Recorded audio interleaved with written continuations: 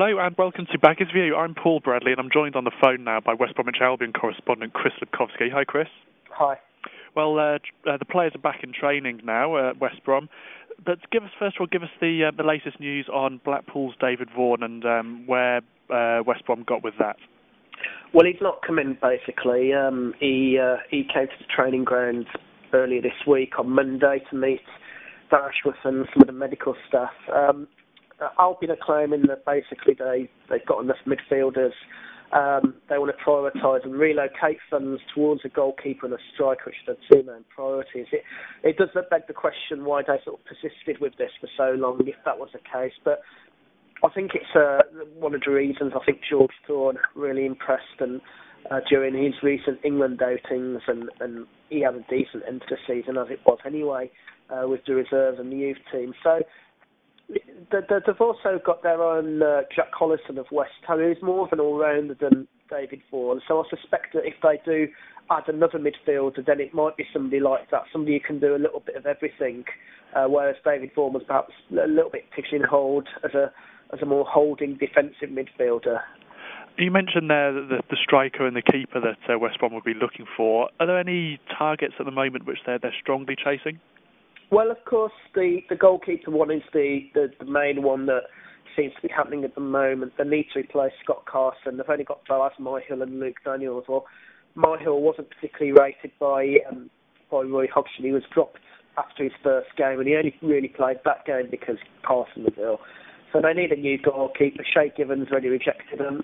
Uh, the other names mentioned Thomas Kuszczak, potential uh, as his uh, Green from West Ham and, and Steve Harper, who I suspect is probably least likely of those three at the moment, simply because he, I believe he's quite settled in, in Newcastle. Um, they've been linked with uh, Jurgen Macho today. That that won't happen. He's simply not one of the names on the list. Um, likewise, Ben Foster, who has been made a bookmaker's favourite to join West Brom, and where that's come from, I don't know, because there really isn't or doesn't appear at this stage, certainly, to be any interest in Foster. Whether that will change over time remains to be seen. But at this moment in time, there are no plans by Albion to, to pursue that one at all. And just lastly, Chris, uh, West Brom back in training now. How important is this pre-season for them, and what sort of things is Roy Hodgson going to be focusing their minds on, on ahead of the start of the uh, the August start of the season? Well, it is, it is very key actually this pre-season because Roy didn't get an awful lot of time to do much with them after he came in. He uh, he had one or two international breaks where pretty much the, the squad was depleted anyway because of uh, call-ups to players. So this period is key. Um, it, it seems quite strange to say that it's the first proper opportunity he's had to work with them, having been in the job since February. But that is in fact a reality, and we'll see the, the West Brom that we see sort of during pre-season, certainly at the start of the year or, or start of the season, will be very much the, the team and lineup that Roy Hodgson has probably wanted to implement since he came in, but only now he's getting that opportunity to put his methods and ideas into place. And it's a key, I suppose, for West Brom to get off to a very good start, and they don't want to fall into the trap of uh, of the second season syndrome, as it's sometimes called. Not at all, and, and they've been handed a fairly poor, uh, sort of dealt a fairly poor hand really in terms of fixtures to have the the, the Premier League champions and the runners up uh, on back-to-back weekends, and then Stoke, and then the two promoted clubs away. Um, it, it's going to be tough, tough call for them.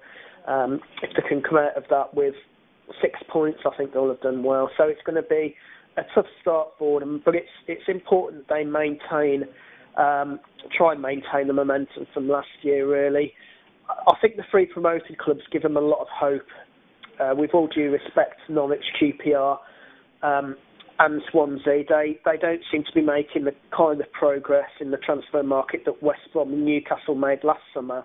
And even Blackpool really surprised us all, but they were ultimately relegated. And I think the three promoted clubs are going to find it a lot, lot tougher this season. And that can only help Albion, I feel. Okay, Chris. Well, thanks very much for your thoughts today. Thank you. All the best. We'll be back again soon with more Baggies for you.